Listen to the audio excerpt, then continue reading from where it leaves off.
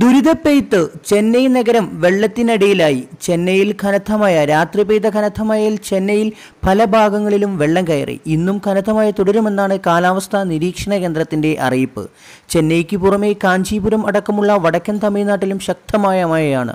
കാലാവസ്ഥാ നിരീക്ഷണ കേന്ദ്രത്തിന്റെ മുന്നറിയിപ്പിനെ തുടർന്ന് മുൻകരുതൽ നടപടികൾ സ്വീകരിക്കാൻ മുഖ്യമന്ത്രി എം കെ സ്റ്റാലിൻ കലക്ടർമാർക്ക് നിർദ്ദേശം നൽകിയിട്ടുണ്ട്. രണ്ടായിരത്തി പതിനഞ്ചിന് ശേഷമുള്ള ഏറ്റവും ശക്തമായ മഴയാണ് ഇപ്പോൾ ചെന്നൈയിൽ പെയ്യുന്നത്. ഇന്നലെ രാത്രി മുതൽ തുടരുന്ന കനത്ത മഴയിൽ ചെന്നൈയിലെ താഴ്ന്ന പ്രദേശങ്ങൾ വെള്ളക്കെട്ടിലായിരിക്കുകയാണ്.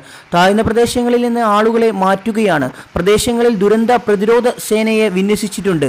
മഴ ശക്തമായതിന് പിന്നാലെ താഴ്ന്ന പ്രദേശങ്ങൾ വെള്ളക്കെട്ടിലായതോടെ അധികൃതർ ജാഗ്രതാ നിർദ്ദേശം പുറപ്പെടുവിച്ചു.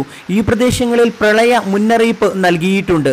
മൂന്ന് ജലസംഭരണികളിൽ നിന്ന് ഉച്ചയോടെ വെള്ളം തുറന്നുവിടും. ചെമ്പരാക്കം തടാകത്തിൽ നിന്ന് കൂടുതൽ വെള്ളം പുറത്തേക്ക് വിടുമെന്ന് മുന്നറിയിപ്പ് നൽകിയിട്ടുണ്ട്.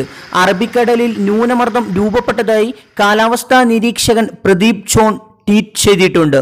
ഇതേസമയം പ്രധാനമന്ത്രി ഗരീബ് കല്യാൺ യോജനയിലൂടെ കേന്ദ്ര സർക്കാർ നൽകി വരുന്ന സൗജന്യ റേഷൻ വിതരണം നവംബർ മുപ്പതിന് ശേഷം തുടരില്ലെന്ന് കേന്ദ്ര ഭക്ഷ്യ സെക്രട്ടറി സുധാൻഷു പാണ്ഡെ.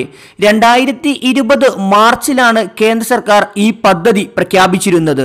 കേരളത്തിൽ ബി പി എൽ വിഭാഗത്തിലെ റേഷൻ കാർഡ് ഉടമകൾക്കാണ് അഞ്ച് കിലോ ഭക്ഷ്യധാന്യം സൗജന്യമായി കേന്ദ്ര സർക്കാർ നൽകിയിരുന്നത്. കേരളത്തിൽ ജൂലൈ സെപ്റ്റംബർ ഒക്ടോബർ നവംബർ മാസങ്ങളിൽ ഭക്ഷ്യക്കിറ്റ് വിതരണവും ഉണ്ടായിട്ടില്ല. ഡിസംബറിൽ കിറ്റ് വിതരണം ഉണ്ടാവാൻ സാധ്യതയുണ്ട്. കേരളത്തിൽ പെട്രോൾ ഡീസൽ സംസ്ഥാന നികുതി കുറയ്ക്കുന്നത് ക്ഷേമ പെൻഷൻ വിതരണവും പ്രതിസന്ധിയിലാക്കും. പ്രതിമാസം തൊള്ളായിരം കോടിയോളം രൂപ ഇതിന് വേണം. കടുത്ത സാമ്പത്തിക ഞെരുക്കത്തിനിടയിലാണ് കേരളം ക്ഷേമ ആശ്വാസ നടപടികൾ ഏറ്റെടുക്കുന്നത്. കേരളത്തിൽ പെട്രോൾ ഡീസൽ നികുതി കുറയ്ക്കുകയാണെങ്കിൽ അത് ക്ഷേമ പെൻഷൻ വിതരണത്തെ ബാധിക്കും എന്നാണ് പുതിയ റിപ്പോർട്ടുകൾ പറയുന്നത്.